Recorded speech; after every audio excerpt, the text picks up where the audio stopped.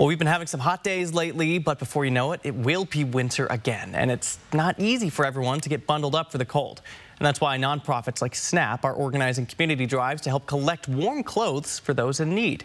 Next Saturday, SNAP will host its second annual pajama party. This will happen on the patio of Brick West Brewing in downtown Spokane. Attendees are encouraged to bring warm clothes like socks, gloves, and hats. Nicole Bishop of SNAP describes the event as the best kind of pandemonium encourage people to show up in their pajamas the day of the event.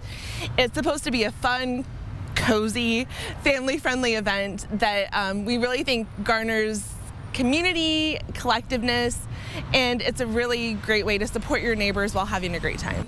And all of these items and much more are going to be raffled off next week, including some Scarywood tickets and an overnight trip to Mirabeau Park. We'll have all that information about prizes and times on this story on our website, kxly.com.